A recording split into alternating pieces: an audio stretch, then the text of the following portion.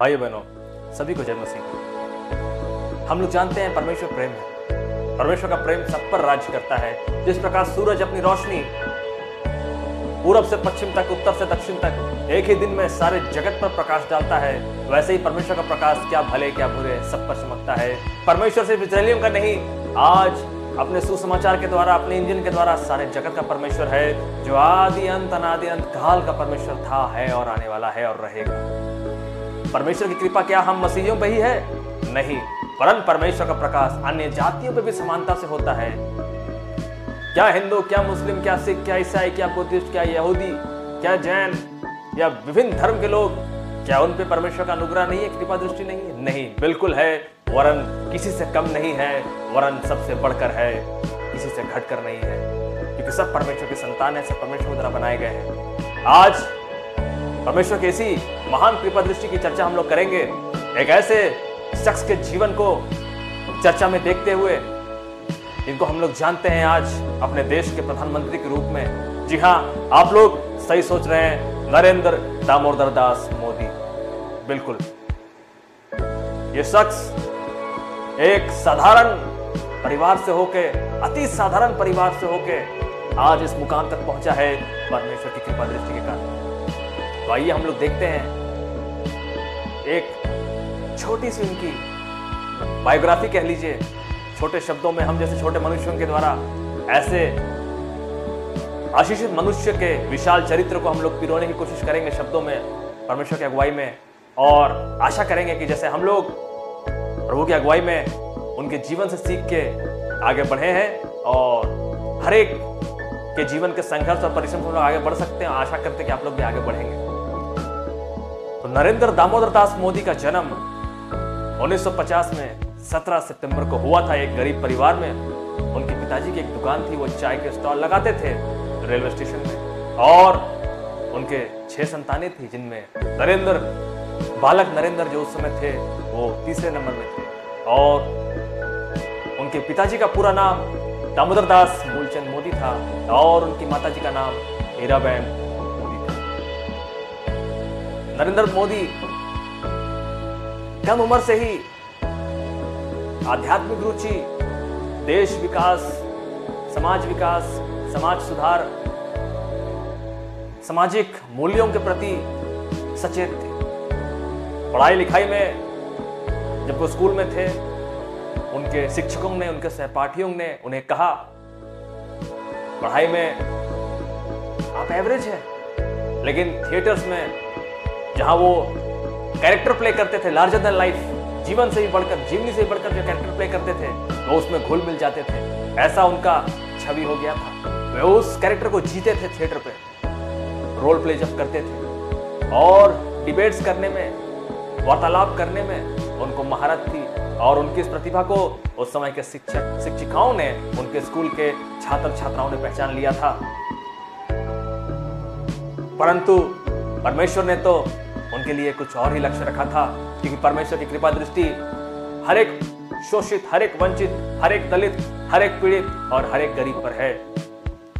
गरीबी तंगहाल जीवन जो वो जी रहे थे, लेकिन जो भी था उनके पास, उसमें वो संतुष्ट थे उन्होंने अपने पिता माता से कोई मांग ना की।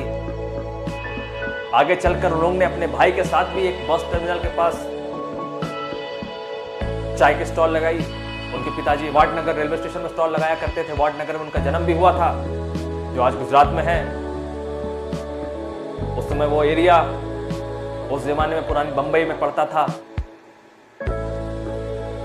आगे चल के बहुत ही कम उम्र में उनके माता पिता ने उनकी शादी अरेंज मैरिज यशोदाबेन नाम की एक स्त्री से करा दी थी। परंतु उनका लक्ष्य गृहस्थ पारिवारिक जीवन ना था उन्होंने आगे के रीति रिवाजों को बीच में ही छोड़कर वो घर से भाग निकले और दो साल वेस्ट बंगाल, कलकत्ता, आसाम, तमाम जगह वो जा रहे थे। कभी स्वामी विवेकानंद के आश्रम तो कभी किसी और मठ में, लेकिन कुछ कुछ समय हर जगह वो बिता के वापस दो साल बाद वो अपने घर को आए, क्योंकि उनकी जो एडुकेशन थी, जो मिनिमम क्वालिफिकेशन होता था, रहने के लिए वो उनके पास नहीं था। और जब वे घर लौटे 1969 के आसपास, उसके बाद, कुछ समय के बाद, वो अपने अंकल के यहाँ चले गए, अहमदाबाद, और वहाँ पे उन्होंने उनके साथ काम किया। लेकिन उनकी रुचि देश सेवा में थी, समाज सेवा में थी। आगे चल के उन्होंने, जब वो बालक थे, बाल स्वयं सेवक भी वो रह चुके थे। लक्ष्मण राव इनामदार, जिनसे वो परिचित थे, उनके द्वारा उन्होंने आरएसएस की सदस्यता को पाई और उसकी शिक्षाओं में आगे बढ़े और वे उसके प्रचारक भी बने, उसको संघ प्रचारक के नाम से भी जाना जाता है। परंतु मोदी जी जो थे, वो सबके प्रति सद्भाव रखने वाले मनुष्य थे। क्या हिंदू क्या मुस्लिम, उनका प्रेम, उनका आदर सबके लिए समान था। और परमेश्वर की कृपा दृष्टि उन पर थी। आगे जाके 1975 में जब इमरजेंसी लगा था भारत में, इंदिरा गांधी जी के सरकार के समय, तब वे सरदार के वेश में घूम रहे थे, तब भी वो समाज के लिए प्रचार कर रहे थे। और आगे चल के वो बीजेपी में आते हैं। 1980 के बाद उनकी एंट्री होती है बीजेपी में। और बीसवीं सदी आने आने तक 20 सालों के अंदर वो कार्यकर्ता से लेकर एक छोटे कार्यकर्ता से उठकर यहाँ तक तरक्की करते हैं कि जनरल सेक्रेटरी बना दिए जाते हैं। उसके बाद वो दौर आता है जब 2001 में गुजरात में बीजेपी की सरकार थी। परंतु उनके मुख्यमंत्री के खराब स्वास्थ्य और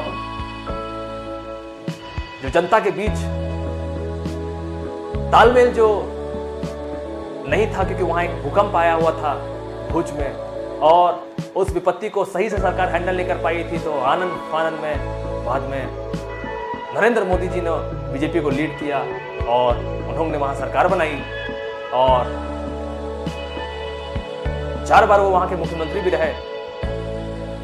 2001 से 14 तक हम लोग जानते हैं। और उन्होंने बिजली, स्वास्थ्य, नदियों को जोड़ना, महिला सुरक्षा, शिक्षा,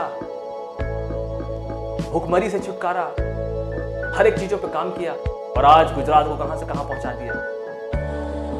2013 में उनकी लोकप्रियता इतनी बढ़ी हुई थी कि बीजेपी ने जो 2009 का चुनाव आडवाणी जी के नेतृत्व में लड़ी थी, उन्होंने मोदी जी को अपना उम्मीदवार घोषित किया और प्रचंड बहुमत के साथ 2014 में उनकी सरकार बनी। और अटल बिहारी वाजपेयी के बाद वो भाजपा के दूसरे प्रधानमंत्री बने, जिन्होंने पाँच साल का कार्यकाल पूरा किया। और भाजपा के पहले ऐसे मुख्यमंत्री बने, जिन्होंने लगातार दो बार पूर्ण बहुमत की सरकार बनाई और पहली जितनी सीटें पाई, उससे भी अधिक सीटें दूसरे बार विधानसभा नहीं, परंतु लोकसभा चुनाव में पाई। उन्होंने जितना प्रेम विधानसभा अपने क्षेत्र में नहीं पाया, गुजरात में, उससे ज़्यादा प्रेम उन्होंने लोकसभा क्षेत्र में पाया। इसको हम लोग देखते हैं। और उनके सरकार में रहते हुए भाजपा ने कई विधानसभा क्षेत्रों में, कई राज्यों में सरकारें बनाई। और आज हम लोग देखते हैं कि भारत की सबसे पुरानी party Indian National Congress, Akhil Bharatiya Congress किस मुकाम पर खड़ी है? कि एक विपक्ष कहलाने के लायक भी नहीं है। तो यहाँ हम लोग देखते हैं, परमेश्वर का संदेश। यदि हम लोग अपने आप पे घमंड करेंगे, अपने आप को ऊँचा समझेंगे तो हम लोग पटके भी जाएँगे, वो हमारे खराब दिन भी आएँगे। परमेश्वर हमें ताड़ना भी देगा।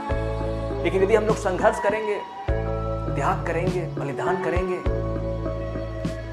परमेश्वर के प्रेम को पहचानेंगे, सबसे प्रेम करेंगे उच्च शिक्षा नहीं,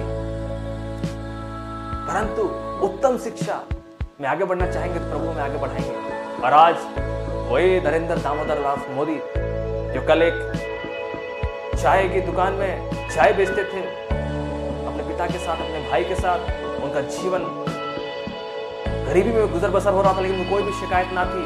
आज वो देश के पीएम और हमारे माननीय प्रधानमंत्री श्री नरेंद्र मोदी ने राजनीति में आने के पहले अपनी अधूरी शिक्षा को भी पूरा किया।